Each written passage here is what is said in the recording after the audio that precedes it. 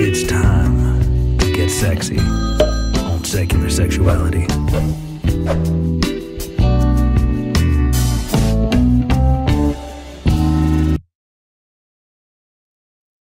Well, hello and welcome to Secular Sexuality. My name is Megan Bonner, and joining me, as always, is my wonderful co host, Christy Powell. Howdy. You may notice that we are actually we usually have three people here, but tonight we only have two. And that is because we invited Dr. Hector Garcia into our studio. We sat down with him just a few days ago and we had a wonderful conversation. Um, I thought it was, I mean, I'm a nerd.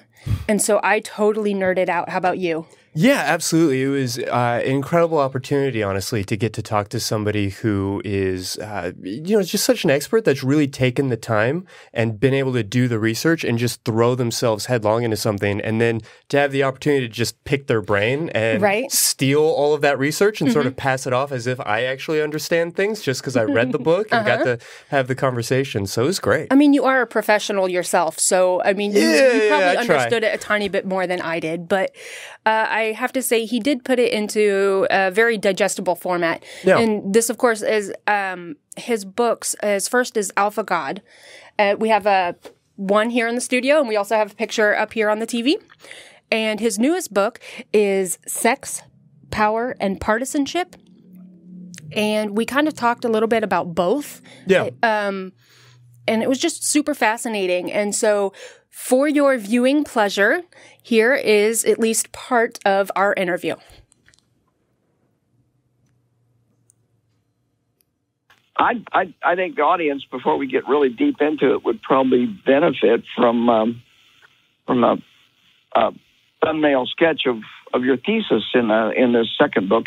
And I think I think we want to keep. I want, I'm just saying we probably want to tie back to your first book on Alpha God occasionally because I think there's some concepts that just kind of go back and forth between the two. But so let's focus on uh, on your second book here. Tell us a bit about that. Well, so so I develop um, some ideas that have been uh, recognized by the popular media uh, uh, about how. Uh, partisanship tends to have a gender feel to it. So, you know, conservatism tends to have a masculine feel, and and uh, political liberalism, liberalism tends to have a feminine feel. In fact, Chris Matthews once called the the Republican Party the daddy party, and Democrats the the mommy party.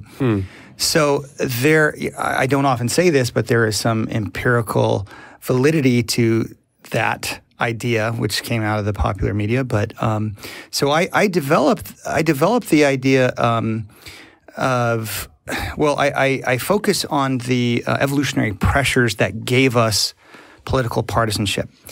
And uh, mostly what I focus on is the threat of germs in the evolutionary past, uh, the challenges of rearing human offspring into uh, uh, in, uh, independence, into adulthood, which is a huge task compared to other species. We spend so much time in independence. And dealing with the hostility of outside tribes, which has shaped uh, our, our political psychology in so many ways. You know, but I, but before we even talk about this, I, I always have to give this caveat that we when we talk about evolutionary science, we, we got to be careful not to make what's called the naturalistic fallacy. Just because something's arrived at through genetic means or through biological means does not mean that it's necessarily moral or that it's inevitable. Because sometimes, most a lot of times, it's it's it's neither of those things. But so, um, and, and also to point out that a lot of our our evolutionary psychology is under the radar of consciousness. What mm-hmm. what has been termed, you know, instinct blindness. So, mm. so, you know, we have all these preferences. All these likes, all these passions, all these dislikes, including in politics, but we're largely not aware of them. Um, so what I what I'm trying to do, along with so many other people who write in the evolutionary sciences, is bring these bring these impulses up for rational examination The uh, unconscious biases. the unconscious biases, why somebody might be inspired or repelled by the words of a, pr- of a president, why somebody might feel so strongly about a particular policy. Um, some people have these very strong feelings uh, uh, Like about what we politics. might call a gut reaction. a gut reaction. Absolutely, and and a lot of times people can't really explain why, Mm-hmm. and they have this gut reaction without even knowing, uh, you know, what a particular policy stands for. So, Can you um, give us some examples of, of the instinct blindness? Because I thought that was a key part to the whole book. But you really have to understand it to, to see how it plays into everything. Oh, I mean, just just on a, on a very broad scale. So, for example, you know, uh, it benefits us to to uh, to love our children, right? And and we, we love our children. We are tr- we want we want uh, you know an attractive mate. So we may have, have have lust for an attractive mate, but we normally don't think about about the. Uh, you know the fitness gains, the genetic fitness gains that we that we stand to to to have from those emotions, right? That's that's meant to perpetuate the, our, our our genes into future generations. So. Um, Preferences for, for taller leaders, for example. There was a study looking at U.S. Uh, presidential elections over 300 years and found that uh, in the vast majority of these elections, the taller of the candidate won. And all candidates were, on average, taller than the average male in, in the U.S. So, so um, do we consciously think, oh, I want a big president? Maybe, but probably not. But but you know, uh, it has some appeal, obviously, because it's it's reflected in who we vote for. So those kinds of things, and all this is very, very, very primitive. So it, it ties back to a time where I, I think critical for understanding both my books is the fact that most of our human evolution was uh, it was very fraught. You know, uh, when we were hunter gatherers, there was danger all around us, and despite what some of my fellow lefty uh, scholars would wish to argue, you know, there was a lot of, of human on human violence. So, so one one researcher looked at, for example, contemporary foragers, and which are hunter gatherers who do some basic gardening, right, and found Right. that up to 30 percent of all the, the the men get killed by male on male violence. Mm-hmm. That is that is astoundingly high. And we can also deduce from looking at the archaeological record, seeing all these massacre sites where it's just it's obvious a massacre took place. So that that pressure l- downstream, millions of years later, mm-hmm. has resulted in in certain political preferences. So whether and whether we acknowledge consciously the bias toward or against violence, it is still there unconsciously. So we do have this dynamic where we don't maybe physically fight, but we do politically fight. we politically fight. We form political tribes. They're, they can be very insular.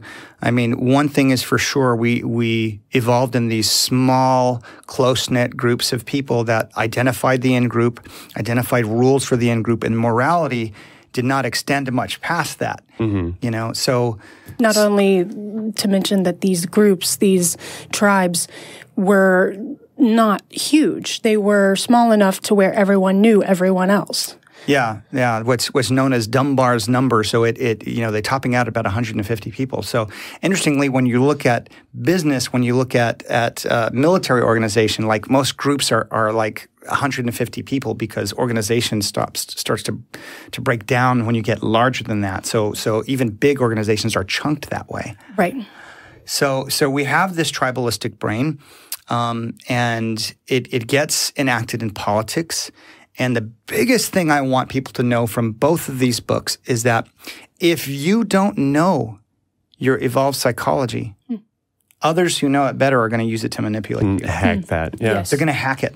They're going It's a little uncomfortable to look at these things in this way. I mean, uh, in your book, you use the phrase "making the natural seem strange," Yeah. uh, and it, it really does feel that way because uh, a lot of your your suppositions or some of the premises are fairly straightforward, but they also feel like they're coming at you sideways, uh, and that's to me what's so confusing and interesting about evolutionary psychology as a field. Yeah, making the natural seem strange. That was a recommendation by the great American psychologist William James, and who who said, you know, a lot of these processes are so they're so intuitive and they're so reflexive that in order to to really see them, you have to distance yourself from things that seem natural. Like, well, of course we love our children, but why? You know, Right. what purpose does that serve? Of course, we want a sexy partner. Okay, but what purpose does that serve? Making the natural seem strange, and you, and you have to do that. And it can be uncomfortable. Mm-hmm. It- so, but I, I think evolutionary science can be like good psychotherapy. Mm. You know, it may show you not what you want to see, but what you need to see. And what is Pointing out those biases and yeah, understanding yourself better. Exactly. Every day we make food choices. And I mean, that's that's really on a daily basis. And those food choices, for example, do I do I like sugar? I did a 23andMe recently, and it said I like salt more than sugar. Right. So that is built baked right into my genetics that I'm going to prefer salty potato chips probably to a piece of candy. That is really really basic stuff. What I choose to eat every day, and that's uh, we can expand that then and look at what other things are being influenced, what other decisions besides what I choose to eat for lunch could be being directly impacted. I mean, whether I can drink milk or not is, uh, we know that's genetic. There's a whole genetic piece of that. But I, I'm just guessing. I'm, I'm just trying to bring it down to the level of the, of the listener. You make decisions every day that are impacted by this instinct blindness. You don't even know you're making that choice based on your genetics. So, Absolutely. uh, I don't know. What do No, you think of that? That's that's that's absolutely true. I mean, it boils down to our physiology. It boils down to our endocrinology, our our, our you know our neurochemistry. Um, but I, I think the part that I that I I believe requires the most scrutiny is those impulses that that cause uh, you know aggression and social breakdown and uh, uh, oppression, things like that. So um, that's the, one example. Okay, so when you look at our fear of germs, they fall on a natural curve, right? The, the, the, the bell-shaped curve. So we all have differences in how how much we we fear germs, and and there are these really cool questionnaires designed to to get at this. So. Uh, you know, asking people how much they'd be grossed out by eating monkey meat, for example, or seeing an unflushed stool in the toilet, you know, gross stuff like that. So you can rate that on the natural curve. Well, when you also look at political orientation, it maps on almost perfectly. So people on the conservative end of the spectrum tend to fear germs more. People on the more liberal end tend to fear germs far less. So also fear of outsiders, fear of, of new people. Um, that falls on the natural curve and it maps on almost perfectly with, with uh, political orientation. So when you think about this, in our ancestral past, um, we were very vulnerable to, to outside diseases. I mean, uh, you know, how many Native Americans got wiped out by things that, that European community for? You know, millions probably. So the threat of outside diseases, even for something as simple as, as like the common cold, was very real. Who brought outside diseases? Uh, You know, who brought who who? How did you arrive at those at those pathogens? Well, it's usually newcomers who brought diseases that you didn't have an immunity for. So it made it made sense to the correlation, not necessarily causation, but the correlation was obvious to those who were getting sick. Oh, new people came in, we got sick. Must be new people. Well, obvious or not obvious, it you know might be that instinctual fear of others and outsiders that you know we don't necessarily associate with germs uh, directly or thinking Right. about it in that way, but that's sort of what's at play there, or what we've been uh, selected for for millions of years. Is that about right? Sure. So, so in, in, in that kind of environment, it, it actually makes evolutionary sense to develop a prejudicial psychology against outsiders because that could prevent you from getting getting pathogens that just wipe out your entire clan. You know, the big question is how much that serves us now that we that we know about basic hand washing. You know, and, and basic you know sanit- um, we have we have vaccines, we have antibiotics. Does that really serve us to have that that psychology? Um, the other thing is that that gets manipulated.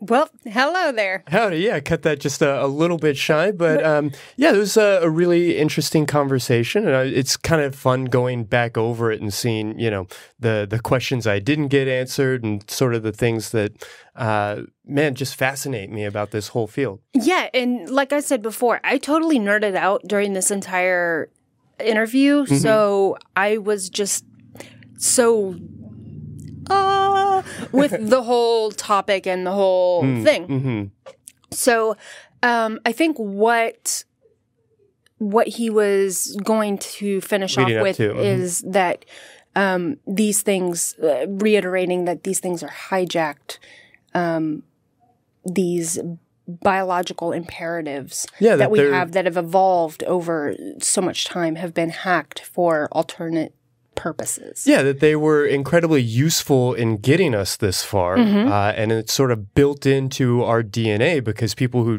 didn't have that instinct died off, didn't reproduce. Right. Uh, and so now we're sort of stuck with all of these things that got us this far. What we could maybe call like evolutionary baggage. Yeah, and, and in some ways they're like vestigial organs. I mean, they're very useful and they're defensive. And they, again, these are, are defense mechanisms, whether we're talking about biologically or socially or whatever else, uh, that allowed us to become the dominant species on the planet. So, you know, great, awesome. Right. But, you know, it's 2019. We are evolved beyond that. And Our society has evolved beyond that. yeah, and we don't necessarily need to see, say, a caravan of women and children coming up towards our southern border with this fear of outsiders and this concern of disease.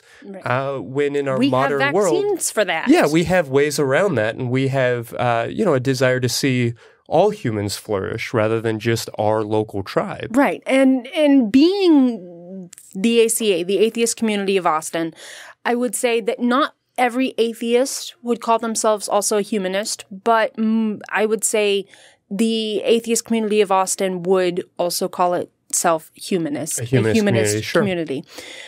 And you know, using that to remind ourselves that we can um, we can overcome these evolutionary imperatives Mm, or, sure. And get we have an opportunity these- to be better. Yeah, you know? exactly. I mean, we we've If we can invented consciously- culture and agriculture and medicine and you know all Right. of these things. And if we can just consciously recognize, and we'll get into that a little bit more in the conversation later, if we can consciously recognize that these things are happening and that these mechanisms exist, then maybe we can start realizing that we don't have to just follow our biology and we can be better humans. Yeah, and, and we'll get back into the conversation. Mm-hmm. I think Hector lays this out really well, but uh, the important thing that he harps on is the fact that these these exploits, if you will, these holes in our thinking Mm-hmm. exists.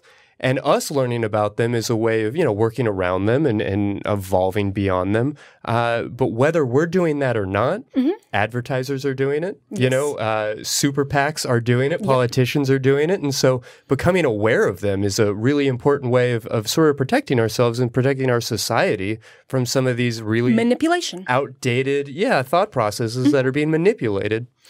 And if any of you have any thoughts, questions, or comments, uh, please feel free to call us at 512 686 0279.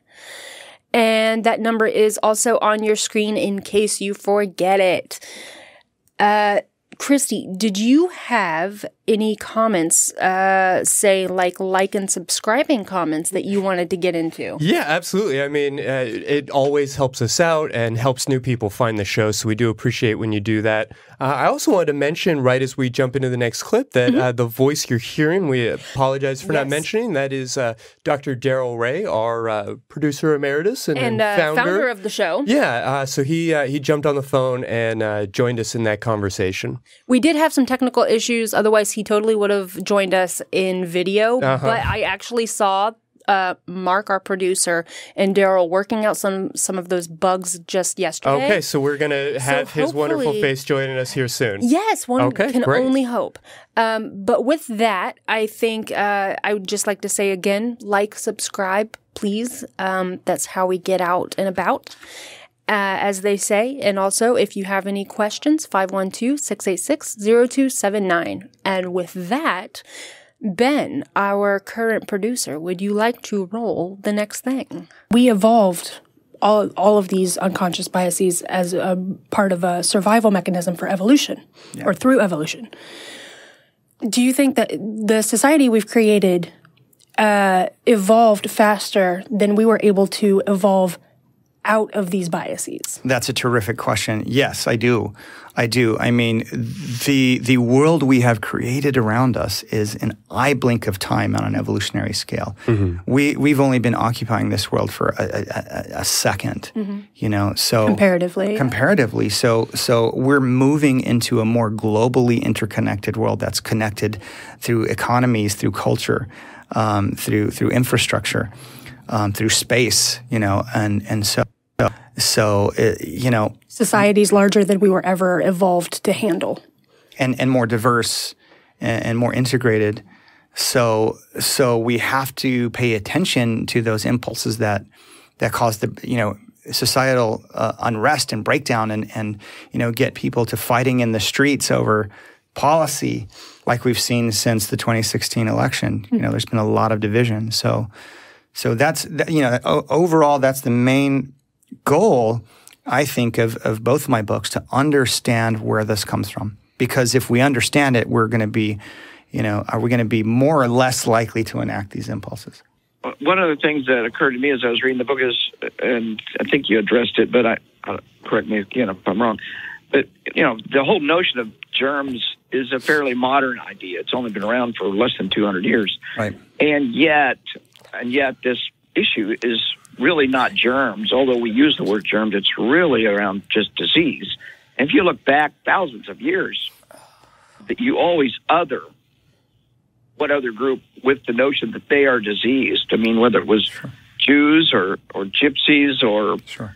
or um, Haitians or you know any name that any number of people that we have always othered with the notion of disease. Uh, I think that's a powerful idea once you understand how that works in us, then we can be manipulated all over all over the place by those who would uh, use that fear for us. And it's a very mm. natural, normal thing to be afraid of disease because it's going to kill our kids, and yeah. we want to protect our kids and so forth. Yeah. Yeah. Well, I also think it's really interesting that. Um, you know, as natural uh, and it's sort of intuitive, I guess, as this othering of uh, of foreigners and different things feels, uh, the fact that we do have such like much more strict laws with regards to protecting people in those situations. So, you know, our, our hate crime laws are a lot more strict than if you were to commit a crime against somebody, uh, you know, in the in group. And I'm wondering if that is a, a reaction to this, you know, very strong drive or, or where that's coming from, why we see that as so condemnable. I think sensible policy, sensible legislation takes into account these evolutionary impulses. Mm-hmm. So, so you know, on the topic of of, of sexuality, so one of the things I write about in in in both my books is how how much of our politics and how much of our religions are grounded in male mate competition. Mm-hmm. Males compete for for mates, and and you know, writ large, I think you know, conservatism, political conservatism, is based on favoring male reproductive interests. Um, so that's why in the most conservative societies, you see mate guarding mm. so powerfully embedded in those societies. So mm-hmm. there's been mm-hmm. these, these, to the detriment of the females.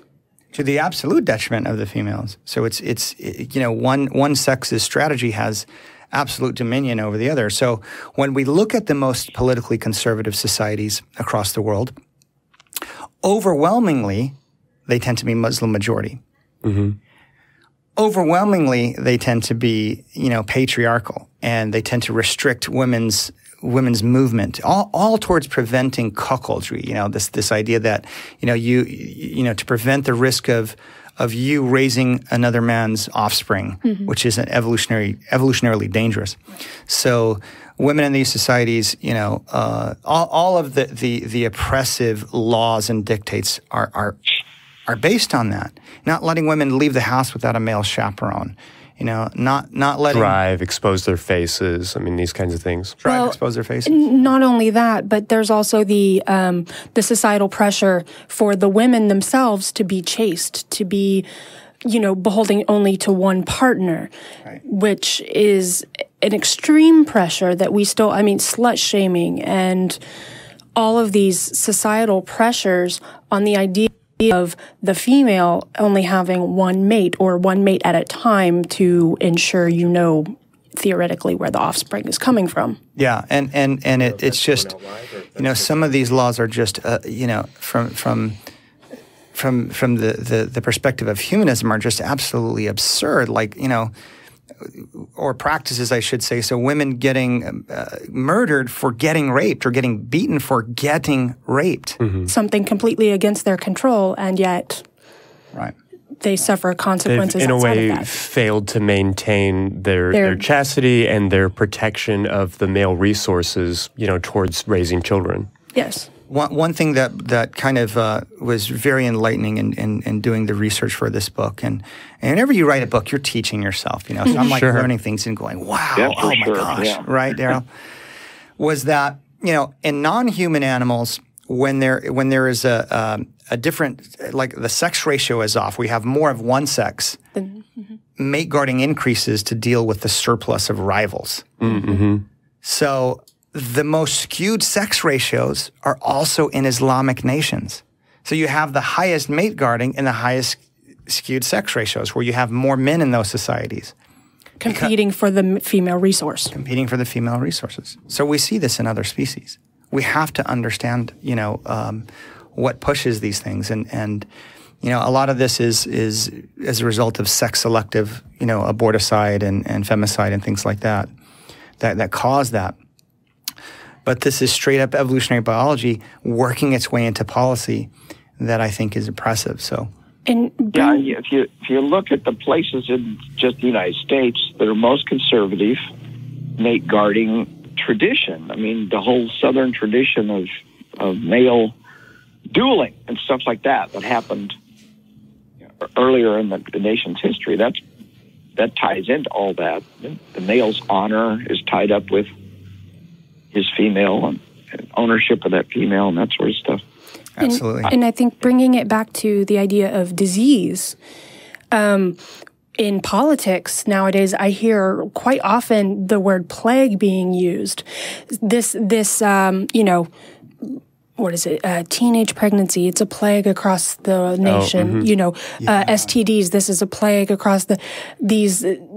Um, using that innate fear to press an agenda by describing an entire action or a group of people as a plague. Absolutely, and and look, you know the, these these big media outlets, political handlers who who who work on you know, for example, Trump's campaign or anybody's campaign, they mm-hmm. know this research. audience, but I don't they know this understand them. research. So that's not on accident. That's a good observation. I don't think that's on, on accident because they know that their their viewership, their electorate is going to respond to those things.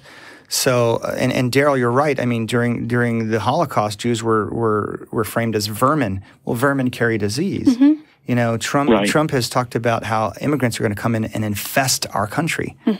So, none of this is accidental. No, and in the in the middle, uh, not the Middle Ages, but in the Thirty Years' War, the the um, the references to disease Yeah.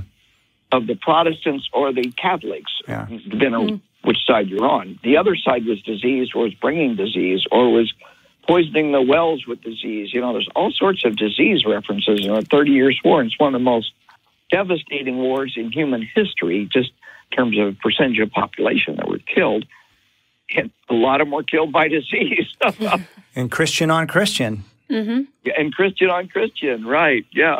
Protestant, like you Part of the reason the disease was so prevalent is you have armies running around with no sanitation. Well, they they bring tons of disease with them when when those armies run around. So you could easily associate armies with disease and infestation. I mean, all these things start coming together. And I had one thought uh, after I finished the book. I I- I just sat around for a week or so. I didn't even tell you I was finished with it.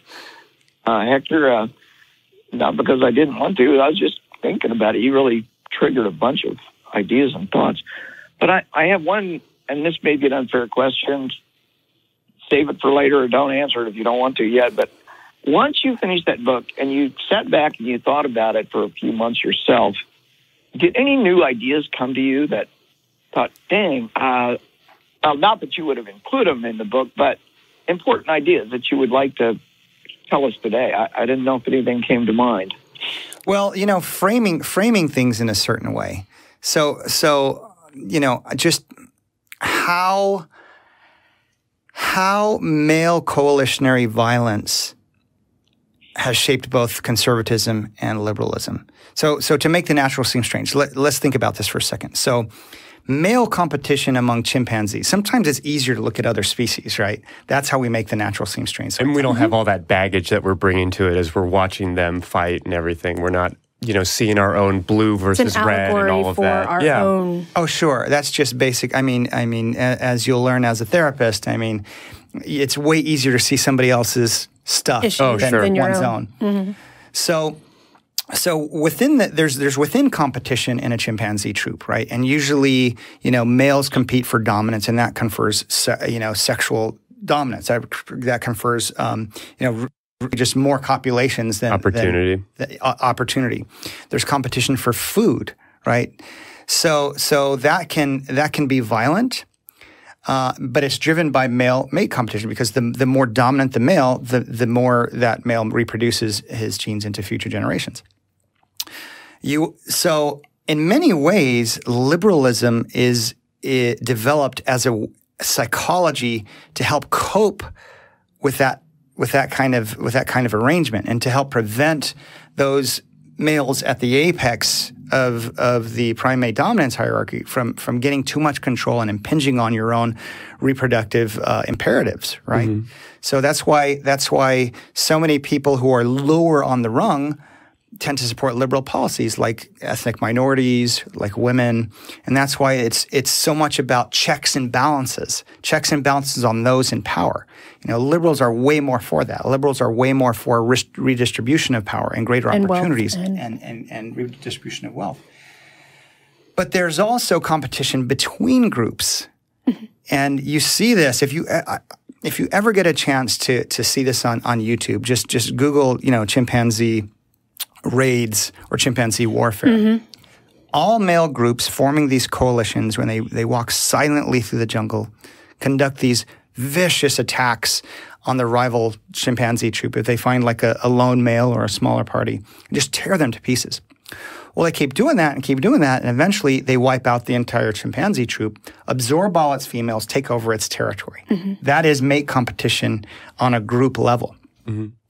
So, so a lot of political conservatism was based on this behavior among humans because humans did this forever and ever. It's imperial expansion. It's imperial expansion and it has reproductive rewards.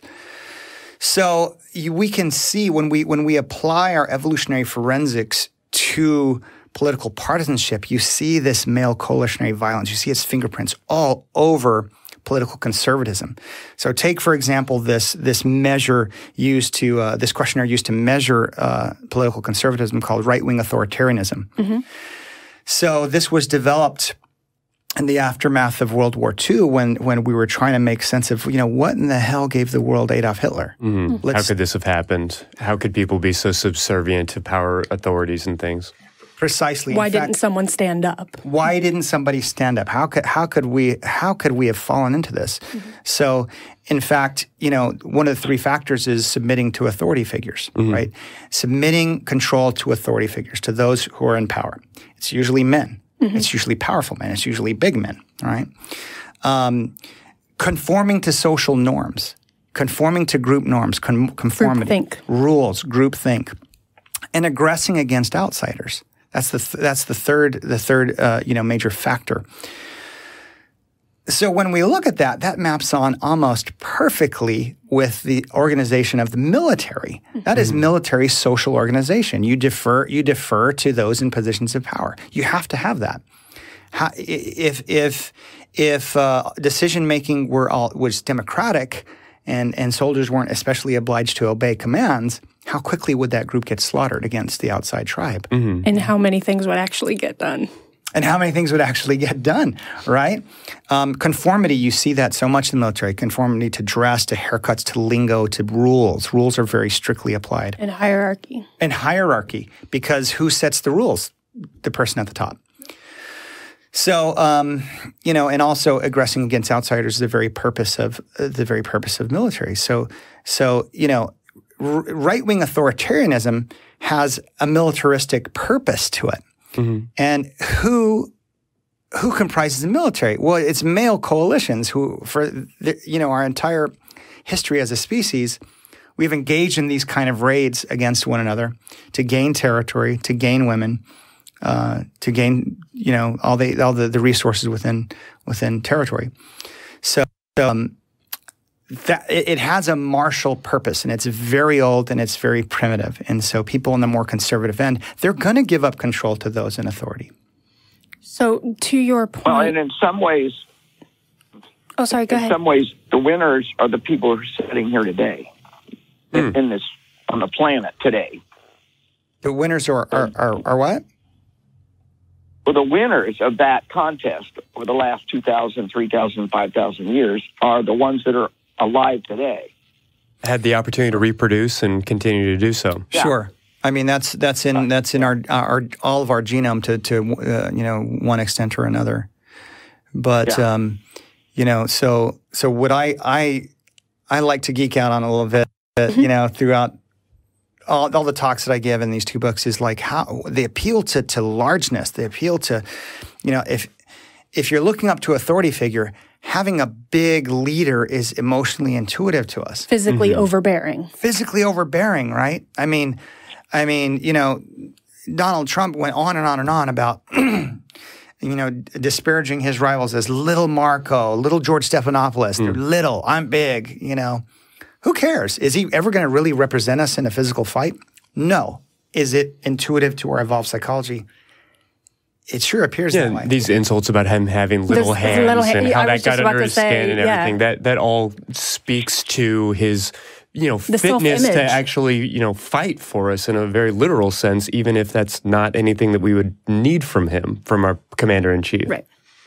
I don't know if it is evolution on the part of the female of for us to look for the stronger, the dominant, the the one that we can hope will be able to protect our offspring.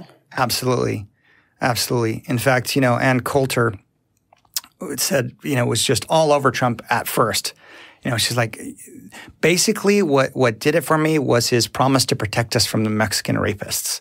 You mm-hmm. know, to protect us, I would walk on glass for him. She said she's changed her mind. You know, she's called him an idiot since then. But, but yeah, that's a strong. It took a little while. It took a little while. But not only that, you know, not only that, but when there's there's an appeal to those kind of men because if you're living in, in an environment that's full of danger and that that you know there are these power struggles that are won by violence and size you're going to want male offspring that can compete in those environments mm-hmm. right? Mm-hmm. So there's an appeal to those men for what they what they can provide for you in terms of your male offspring that you make with that person it's called the sexy son hypothesis so in in that kind of environment do you really want to mate with timid small you know uh, even if they're going to share their power with you, even if they're going to, in some ways, you know, uh, offer the the woman more opportunity or more resources, uh, or maybe not more resources, but just more privilege. Um, you know, as we kind of look at that dichotomy between liberalism and conservatism, uh, there's, you know, more sharing of power, but not as much protection.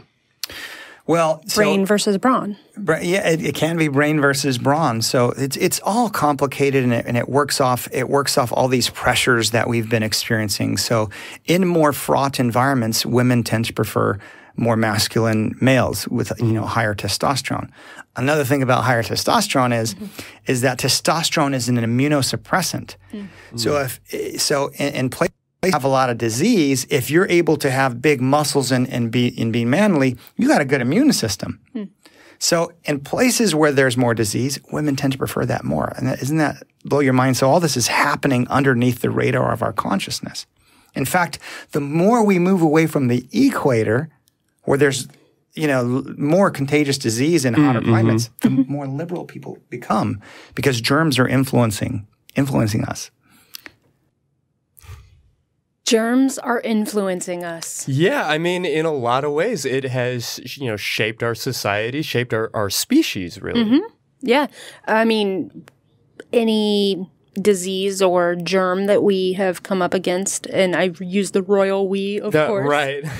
um, the human race has come up against has either had it been done for or has managed to somehow beat it back. Right. Yeah. I, th- I think of War of the Worlds and, you know, just the things that it took for our species to survive and, uh, you know, some of the baggage, like you said, that we carry with us because of that. Mm-hmm. Uh, you know, a- as a therapist, there's something I- have said on this show many times that I just couldn't shake while we were watching this episode about how, uh, you know, when it comes to our thoughts, our emotions, you know, those, those just happen. You know, those aren't any, ever anything I ask people to apologize for. It's mm-hmm. our actions, our words, our deeds right. that we need to be held accountable for. So, w- for me, one of the beautiful things about this thought process, the kind of these thought experiments of understanding ourselves and our species from an evolutionary standpoint, mm-hmm. is getting a little bit of an explanation on where some of those thoughts are coming from. You know? Yeah, so you don't you can explain a little bit and not have such an oh my god I'm such a horrible person feeling. Yeah. It's no, this is where this is coming from, but that doesn't mean I can't rise above that. Exactly. You're not a monster for being maybe a little afraid of strangers, for being mm-hmm. afraid of people from other countries. I mean, these are very natural impulses. But like Hector said, we don't want to make the naturalistic fallacy and assume that just because something is it's natural, natural it's, it's, right. It's right or good or inevitable. Mm-hmm. You know, those feelings might come from somewhere deep in our genetic code. But as evolved beings, we have the opportunity now to understand those feelings and uh, and control them and drive them towards you know a better world.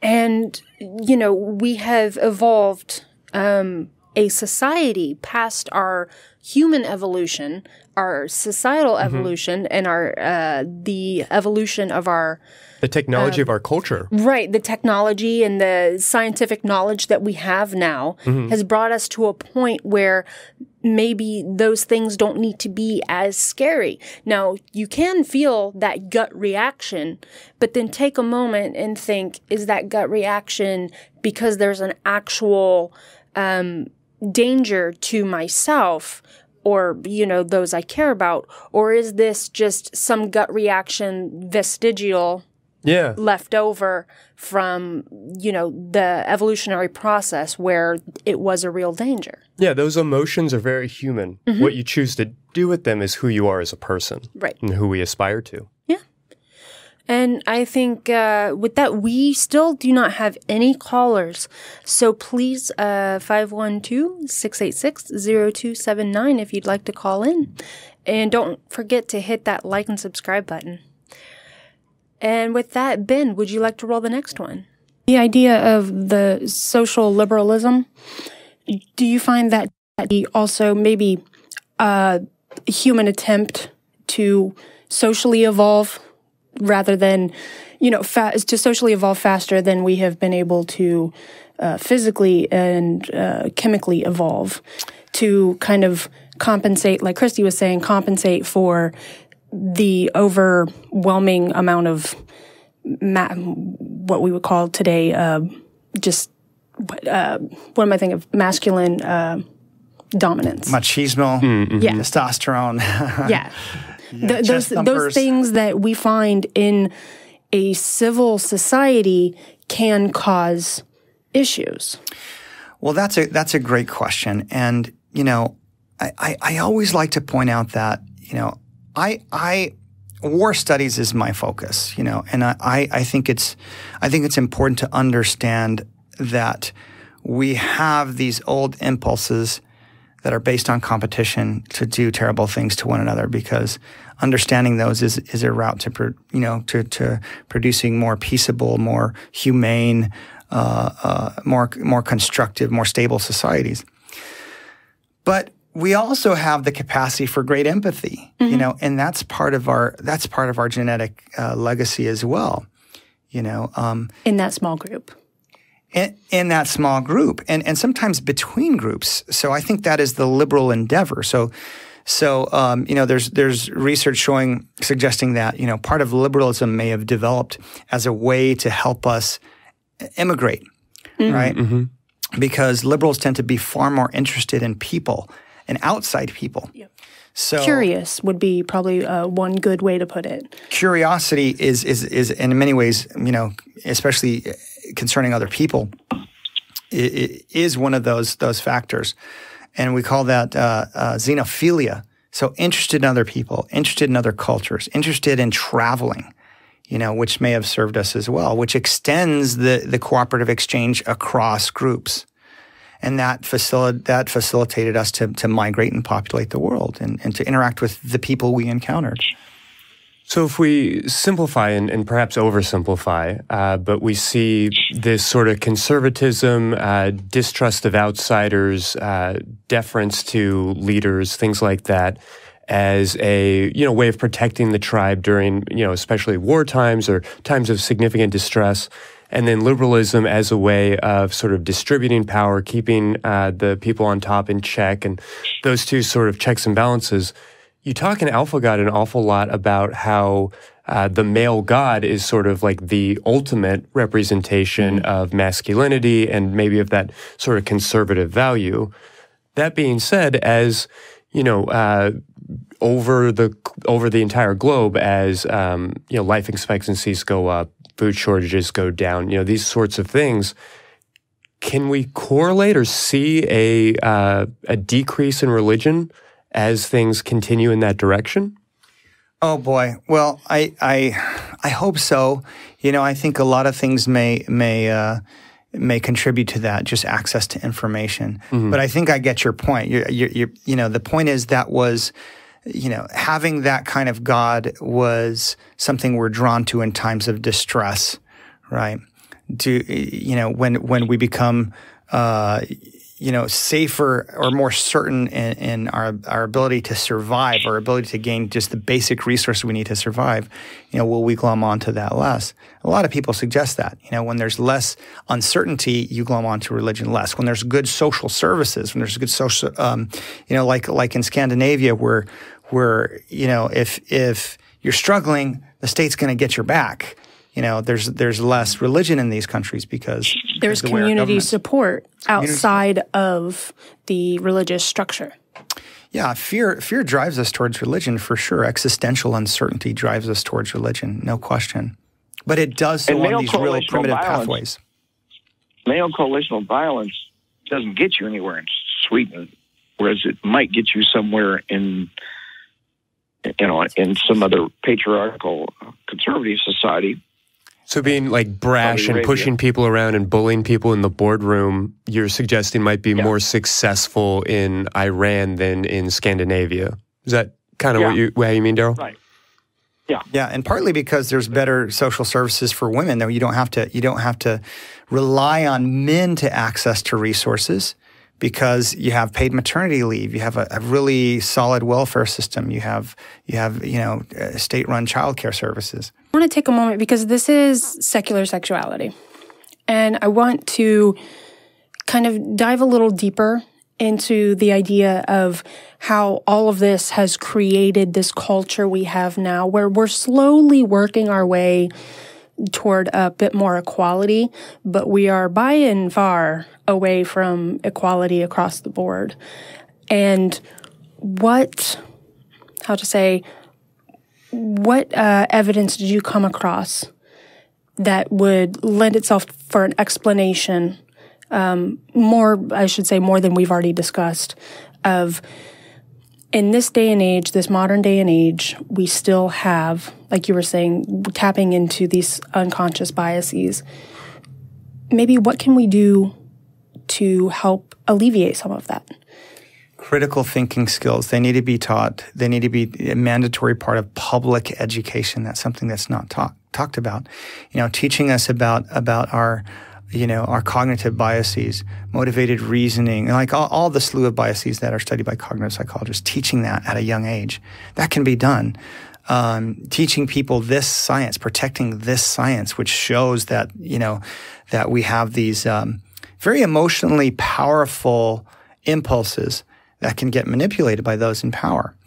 Um, you know, for example, there was there was one uh, uh, senator, I forget who it was, um, but he said that you know one of the causes of the Columbine shooting was was moms who take birth control pills. You know, just try. You know, you, you exactly, yeah, exactly. you know, um, I didn't hear that one. Yeah, trying to you know trying to to to scare women out of sexual independence. You you know. uh, by saying, you know, your children are going to get killed If you take birth control. if you take. br- It's it's something's right out of you know something you you hear in Iran. You know, and completely unfounded too. can you guess what party that statement came from? Um, let me let me take a moment. It's this one's a, a, a brain bender. Yeah. Well, knowing knowing what you've written in, in both books, actually, you could almost put together a, a playbook for manipulating human polity, human political systems.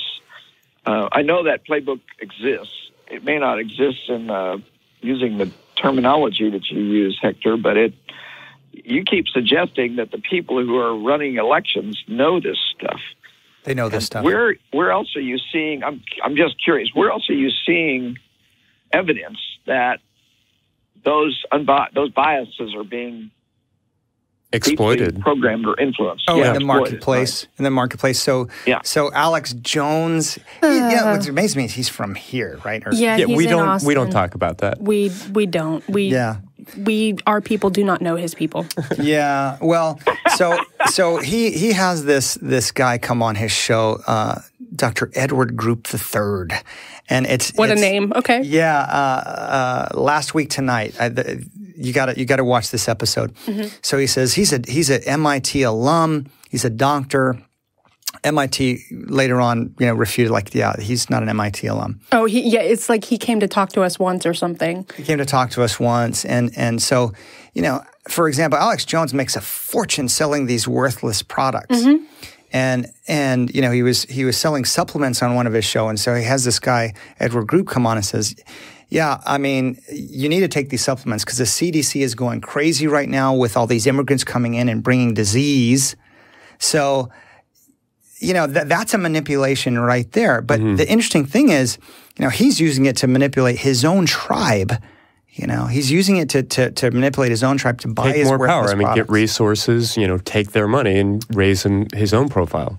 And and there's research out there showing that people on the conservative end of the political spectrum, this is objective research, are more credulous. They can be manipulated more, especially when fear is involved. So there's there's a whole section of our populace who's just getting manipulated. It makes me mad for them. Well, and that makes me think that um, I think often about how it seems like the older generations are um, more rigid and more conservative and less um, compassionate toward the other. And it makes me think through our history. I mean, think what generation that they're coming out of. Their parents went through, well, like the older generations, their parents, and as they were children, went through a series of military conflicts that they were directly affected by. Whereas even though we're dealing with, I mean, I remember I was a teenager on 9 11, but it, it- we were a degree removed from it, uh, unless you were right there at ground zero or, you know, involved had a family member directly involved in it, you were still kind of a degree removed from it. The likelihood that your dad went to Iraq, or right your or brother, or that you yourself were directly affected.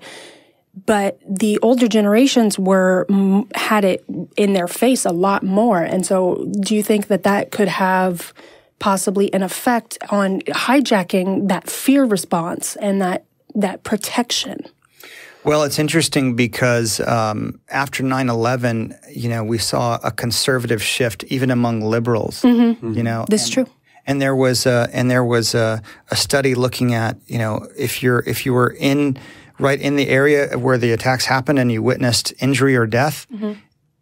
You, were saw a shift in right wing authoritarianism, which shows like this is an ancient survival response. You know, that, It- we have been attacked we must protect ourselves we must fight back yeah, against the male coalitions because you know all of them were male. Just keep that in mind. You know, watching that, it made me think um, about how, generally speaking, when you are in a conversation with someone and maybe you have differing ideas about something, the whole idea of um, feeling attacked And what do you Sure. do when you feel it, when you feel that your identity or you feel one of your ideas or your opinions is being attacked? Those you basic saber-toothed tiger Oh, yeah. defending fight or flight instincts are still coming to the table, even if it's a debate rather than a fight to the death. Right. Or even if it's just a casual conversation where someone disagrees with your opinion on a matter, mm-hmm. that immediate kind of, you know, lockdown, pr- you know, bat the hatch, uh, what is it, batten the hatches kind of um, reaction. Yeah, absolutely. And you know that comment and and the last question that you had, uh, just kind of getting at this idea of alienation and uh, how we are further and further and further away as a society from our you know genetic heritage. And that's why i think this is so valuable to understand. You know as we keep pointing out as hector mentioned uh, these are all part of us and we're getting further and further away from the way that they initially made sense right? What they were evolved to do. Right. The mechanisms, what they were combating or what they were evolved to um, selected to defend against. to defend against. Yes. Yeah. And so now we just have them inside of us. And so, you know, getting some level of understanding and, and mastery of those things is incredibly important. Mm-hmm. And you know, with that, we actually do have one caller on the line. And of course, if you would like to call, we have about 30 minutes left in the show. So please, uh, 512 686 0279. Or if you'd like, you can go to the Athe- uh, the Atheist Community of Austin or the Atheist Experience website and click the call the show button. So, with that being said, uh, Yep. would you like to speak to Joey? Sure. Great. Hi, Joey. You are on the air. Oh, hi. So, um, I, I did have some questions about my sexuality. Yeah. Oh, I, sure. I think I might be, I think I might be pansexual, Okay. and I'm not sure how I can tell. Mm-hmm. And and um, the thing is, my issue is, I I confronted my father about it, and he said that he was going to beat me if I was, and I don't know what to do. Okay. Yeah. You know, I, I don't know what the circumstances or what that relationship looks like or, you know, how, how connected you are to him or how concerned you are about those threats. I, I definitely want to just let you know that that's a devastating place to be in and nothing we would ever hope for for you. You know, that being said, as far as what label best describes you, you know, I don't know that there is any genetic test or any magic way of knowing for sure, but at the same time, I, I don't know, always know that it matters. You know, certainly we've said on this show before that our identity, our labels, these things that we ascribe to and these things that we describe ourselves with are incredibly valuable. And a lot of people put a lot of blood, sweat, and tears into defending those labels, into receiving those labels and uh, describing themselves that way. That being said, there's no obligation to have it figured out. You know, you don't have to go to the pan store for pansexual people to find a pan partner. You get to Yeah. be in love with, to have a crush on, to have sex with the people that you want to be interested in, the people that reciprocate that feeling towards you. So whether that is a man or a woman, that whether that's somebody who's non-binary or gender fluid, you know, the, those labels are valuable, but only when they're useful. If it's getting in the way, if it's causing you strife, I, I wouldn't let that become your focus.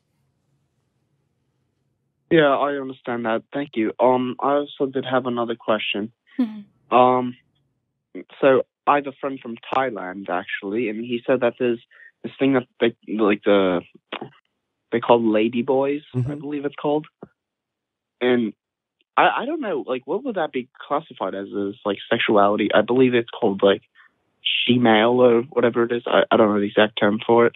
What what kind of sexuality would that be? Yeah. So what we're kind of trying to do there is take these like very Western scholastic ideas. sometimes. They, they, those, so those terms can be not necessarily, but uh, often are used that way. Right. Uh, but the kind of at the heart of the question is how do we take this uh, this very specific concept that has been invented by this particular culture and sort of put it under our our lens, right? Which Western scholastic academic words can we best use to describe this sort of extra or third gender? Using the there? labels that we tend to use here on the show. Right, exactly. Um, and so that that being said, it's really not you know I'm not a cultural anthropologist. It's really not my place to label or describe anybody. Uh, the the Thai ladyboy concept I think would generally fall under something that resembles our understanding of uh, trans women. Mm-hmm. But at the same time, I think that from what I understand of that culture, those people do exist as a third and distinct gender. And uh, so, really, in any of this, whether we should label it this or that or the other, we want to be kind and respectful and informed about these names and about these labels. But we also just kind of want to ask the people involved. And I would say, in possibly in the same way that you know other languages have words for things that for concepts that uh, we uh-huh. do not have words for maybe these people encapsulate a certain um, part of the spectrum that in english we don't have a word for yet Yeah, absolutely. I don't know if that, that kind of helps um, settle things at all for you, Joey. Yeah, it does. And um, I, I, I always thought, just despite being thinking I might be pansexual, that there's only two genders, male and female. So that's why I, I'm just so confused about all this. Yeah. I'm sexually confused, and honestly, I think, I think that listening to this show, it makes me believe that you guys are a bunch The of Nickelback fans. All All right. right. Well, um, we do have a few more lines open. we do And uh, we'd love to hear from everybody else. Uh, In the meantime, I think we're going to go ahead and jump into the next clip. yeah it was a good conversation. A couple of months ago, I wrote a review on another book on evolutionary psychology. And because the internet is the internet, uh, I immediately ended up taking it down because I got a, a lot of attacks, not even about the review, not even about the book, which I, you know, kind of panned, uh, but about how evolutionary psychology as an entire field is sexist and uh, is just reinforcing these old narratives and giving uh, men excuses to take power by you know calling it their evolutionary birthright. And you started off by suggesting that just because something uh, happens naturally doesn't make it right or moral. Yeah. Uh, but I, I'm curious, um, not to necessarily have you defend your entire field of study, but if you could address this idea that uh, all evolutionary psychology is inherently sexist. Yeah, that's a great question, and it's actually something that I address in, in sex, power, and partisanship. So, so making making this uh, this naturalistic fallacy, you know, it's interesting because uh, that can look differently depending on where you where you are politically. So, people on the left are more likely to make the fallacy. It's more likely to sound like this. Well, gender equality is desired therefore any science showing gender differences you know can't be true because that could lead Should to gender tossed. inequality yeah Sure. on the right it's more like well um, because there's gender because there are gender differences that justifies gender inequality right so you know i think i think you know both of those are errors and i think you know i think it's important to have the the dispassion of of, of a researcher when you know in, insofar as, as as one can when when looking at these things saying this is just who we are if we don't acknowledge it we're going to be more inclined to commit these these these you know these heinous things to one another or these these bad behaviors based on these old impulses. So even if it shows us something that makes us feel uncomfortable about who we are, but we can overcome that. We can overcome our, our genes. I mean, you're wearing eyeglasses, for example, you know, um, And I should be. and you should be. And and and every every bit of technology that we've ever created is an example of overcoming, you know, that the A natural is some uh, evolutionary deficit. I mean, even a stick poked into a ant mound is Oh, I thought you were just gonna say electric overcoming. socket. Yeah, well, that too. Yeah. Uh, uh, you Oh, know, a Darwin Award. right? uh, but yeah, when when uh, Jane Goodall is watching chimps use these tools, it's to overcome you know the shortness of their own fingers or Right. their dangers of getting bit or whatever else. Right. Right.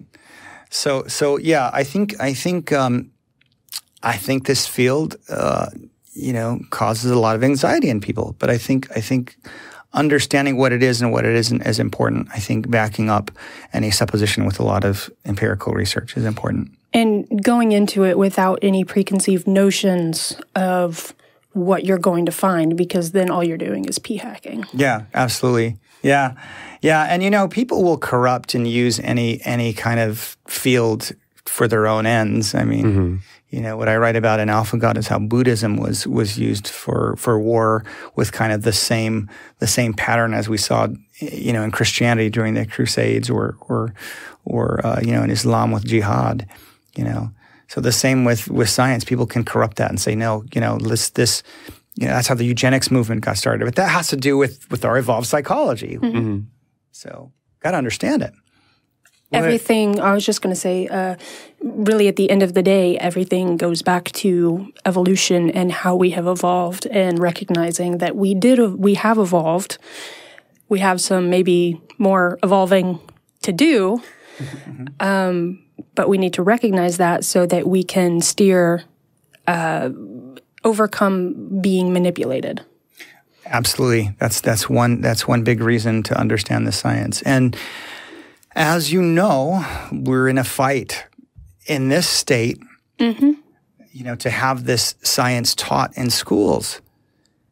And that's that's pretty serious. We're dispensing with with one of the best mirrors that we have into mm-hmm. ourselves if if we if we if we start to teach creationism in schools or start to inject false uncertainty into the principles of natural selection, you know. Well, and as you've kind of suggested, it's uh, especially dangerous not um, just because this information exists, you know, uh, if we didn't understand any of these things, it would be one thing. Uh, but if we're if we do understand them as a society and we aren't teaching them to individuals, then we know that the people at the top, the people that are in the boardrooms, people that are in the marketing meetings or behind the super PACs or whatever else, they are in possession of that knowledge, and that disparity puts the rest of us at a huge disadvantage. It makes us much more vulnerable to manipulation. No question. Yeah. Darrel? one area, yeah, one area of um, research I thought was fascinating, and I think I've read more stuff since I read your book. That why why are why do some women buy into the cultural narrative mm. that enhances the patriarchy? I mean, why is Ann Coulter so damn gung ho about you know, about that. Or or why are there so many Fox News women women that watch Fox News? And this research, I and I think you cite it, uh, Hector. The more attractive a woman is, the more likely she is to be Republican or lean towards the conservative, because she is allowed to buy in to the privilege of that um, of the of the status of yeah. Shit, now I need to go home and look at myself in the mirror. Yeah, I was bit. about to say, I, I, for one, have dated a number of very lovely liberal women, but your point is well taken. Yeah, I mean, Hollywood is filled with beautiful actresses and who are liberal. You know, for example. So whenever we talk about about these stats, we have to think, you know, more probabilistically. But, but yeah. yeah so right. so so women compete with other women, and and sometimes it, it favors women to to join the male hierarchy and to favor, you know, for because example, they're going to win because they're going to win and to favor their their husbands their husbands uh, their husbands game over over the, over women. So when mm. women get married, they tend to turn more conservative. Give and up they, careers and support and back the male in the relationship. Right, because they get part of that patriarchal dividend. Mm. Mm. So yeah, it's it's it's it's really fascinating, and it's it's a hard pill for a lot of people to swallow looking at this stuff, but but there's research looking at that that they call the Michele Bachmann effect because you know she's very feminine looking and you know so so so femininity which can be measured and attractiveness which can be rated predicts uh, congresswomen's voting record how conservative their voting record is. Mm. and this is all based on competition. So so you know women compete as well for for resources with one another. Mm-hmm. and and and we got to look at that as well and that's blind instinct, instinct blindness, because yeah, they don't even realize they're doing it. It's just there, just part of the equation that goes into their mind when they're making decisions. It is. And intuitively, we know this because some of these studies showed pictures of, of world leaders mm. and the, the subjects were, were naive to them. And they could, just, just based on their looks, like how attractive men and women were, they could guess that they were, that they were more conservative or more liberal. Kind of one thing we haven't talked at all about, and I thought maybe we'd get back to where we started here. Um, Megan was really curious, and I think Christy as well, as what would be the evolutionary value of bukkake? Uh, can you help us out there? We were pondering this question before we started airing, and I'm just going to let you handle that. Oh boy. Uh, uh, you, you have stumped me. Maybe it's a side effect. Well, I, I think the real question is, and, and this is kind of way off base from what you're writing in the book, is why why do people enjoy such crazy, wild, uh, different kinds of sex and sexuality? Bukkake being only one of them. You know, it's it's part of being human. I mean, we're we're a very sexual species. You know, we do it a lot, not only for reproduction. We do it for fun. We do it for for um, you know bonding purposes, Entertainment. entertainment. Entertainment, right? Yeah, yeah. We're also very curious and we're very playful too. I think and that all Yeah. that comes into play there. Yeah. So, well, I we we had to l- at least end on a note of uh, true questioning about our sexuality. and had to get bukkake in there somehow. It's Somehow. the internet, Well, we gotta- so eventually, It's yeah, come all up. roads lead to whether you're talking about evolutionary psychology or politics.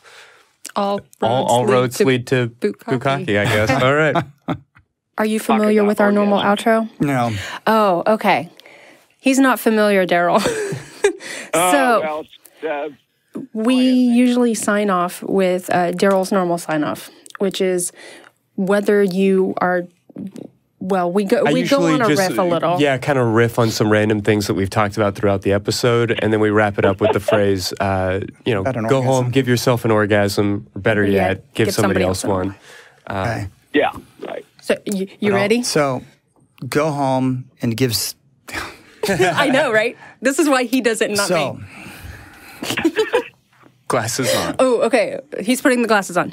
go home, give yourself an orgasm, or give somebody else one. Yes. it was nice to get Hector uh, to help us out with Bring that. him in on that. Yeah, Yeah. I got you know. So clearly, this is a very difficult job, right? I, I, I mean, I'm not too. You can't just walk in off the street and do the outro No, no, not at all. You need at least like five minutes of prep. of actual prep time, right? Yeah, yeah. Um, I, I have to say, uh, there's something really rewarding to be at this stage in my career and have an opportunity to sit down and talk about these incredible intellectual thoughts with two brilliant published doctors. yes. And of course, have the conversation devolve into To a conversation bukkake. about bukkake. That's uh, always. That's the life path that I'm on. As Darrel said, you know, it always it you it always All roads eventually lead lead to to internet porn and Yeah. bukkake. Yep, yep. You know, I I have to say I really loved spending time with Hector and Mm-hmm. um, all the things he had to say, the interesting, you know, information and insights that he had were really great, um, and really helped illuminate some of those topics that we talk about often about inequality and um, the way that sex impacts our daily lives that we might not think about too often, but that really is our is our daily life. Yeah, absolutely. And I, I would definitely recommend his books to anybody who's Mm-hmm. listening and who's interested in these topics. Uh, I haven't yet read Sex, Power, and Partisanship, but um, Alpha God Mm-hmm. was a really easy, really clear way of understanding a lot of these ideas. And uh, I definitely think that it's the type of thing that once you're exposed to it, Mm-hmm. it, it kind of on its face is just sort of, meh, okay, I get it. There's not much there. Uh, and then it just sort of shifts your entire perspective on life by, you know, maybe it's only two degrees, but you'll find yourself for weeks just kind of going, Oh, that's why I honked at that asshole who cut me off. because somehow that would save me from like orangutans or saber-toothed tigers in my evolutionary past. Just those immediate reactions that we have to everyday life and situations that you don't really think about, but when you do think about, you're like, oh. Yeah, and, and specifically, Alpha God talks a lot about uh, just how our society, how our species came to evolve or create religion. Mm-hmm. You know, what mm, uh, emotional need that was filling. And, you know, there's just a part of us that has been subservient to these dominant males for so much of the history of our species that we, you know, see things like the Abrahamic God and we glob onto that and we think, oh man, this is the, you know, strength and the protection and the things that I need. I was about to say everyone wants protecting. Yeah. And so it, uh, it it's sort of like a way of tricking ourselves into meeting that emotional need.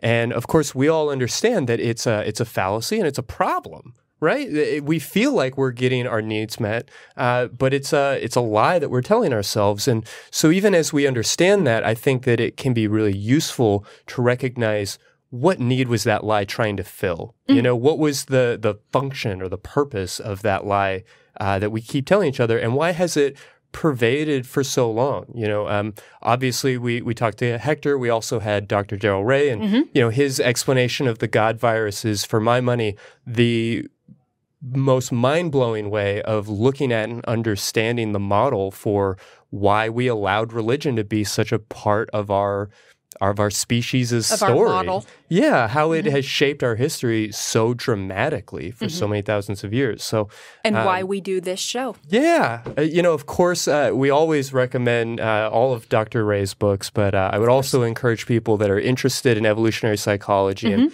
understanding, I guess, sort of the the function of religion, uh, Alpha God is uh, another great place to look. Well, I am definitely going to be picking it up next time I go to the bookstore. Mm-hmm. And, you know, with that, I just want to say uh, another big thank you to uh, Dr. Darrel Ray, of course, as always, mm-hmm. and Dr. Uh, Hector Garcia, who joined us for the episode we aired tonight. And with that, Christy, would you like to take us out? Let's let's try this one more time. Yeah, yeah. Okay. So you know whether it is your first time, uh-huh. whether it's pre-recorded, mm-hmm. or aired again. Uh, whether it's part of your, you know, evolutionary uh, heritage or predisposition, uh-huh. Uh, or a biological you, urge. Right. Uh, we just want to encourage everybody watching uh, mm-hmm. to go out there and give themselves a, a big old orgasm. Or better yet, give, give somebody else, else one. one. Bye.